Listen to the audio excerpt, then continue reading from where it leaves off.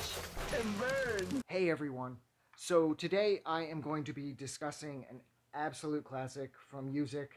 Came out way, way back. This, if I'm not mistaken, too. This would be the late 90s. This would be... I can't... Why... Why couldn't I check these things out before I decide to do these videos, eh?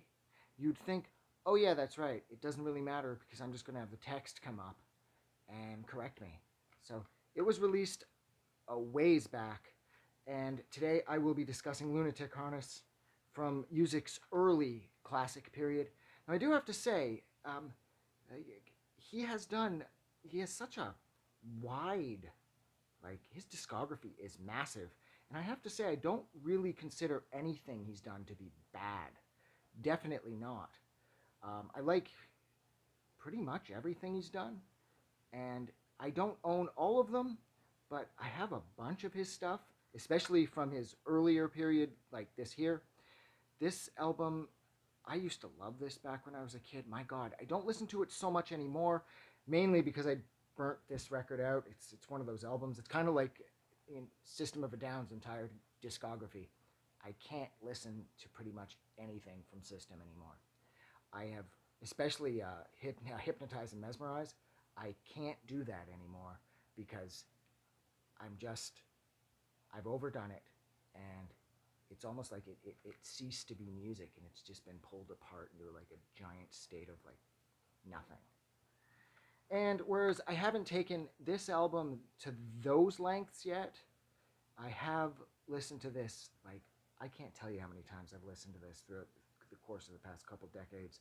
And there are so many awesome songs on here. I mean, you got Brace Yourself, Jason, Hasty Boom Alert, Blainville, Lunatic Harness, My Little Beautiful, Wannabe. I, I, I don't know what to say. Pretty much every song on here, this is one giant complete package. If you like the first song, you're probably going to like the last song. You like the fourth song, you're going to like the ninth song. And it's, like I said, it's his like early classic period when he was fresh on the scene and he was really turning heads with everything he was doing. And he hasn't stopped because we have him to thank for Planet Mu, which is an awesome label and it has given us so many classic pieces of music in addition to releasing pretty much everything that the Venetian Snares has done. I know technically that's not true. Aaron Funk has released a number of records for a number of different labels over the years, but the lion's share of them have been on Planet Mu. And uh, if I'm not mistaken, too, yeah, that's right. Timesig is uh, through Planet through Planet Mu too. That's right. Forgot about that. But yeah, I mean, this is one of those albums. If you like that, like late '90s, early 2000s IDM sound, where things were like so crazy, this record is definitely for you. And if you don't like that stuff, you're gonna hate this because that's what this record is, and it's got that like in spades. And it doesn't stop from start to finish. It's fun, it's bouncy, it's catchy, it's clever, and yeah. So I think that's all I'm going to say about Lunatic Harness µ-Ziq. And I'm going to go. So thank you so much for checking this out. Don't forget to like and subscribe. And like always, I will see you guys soon. Have a good night.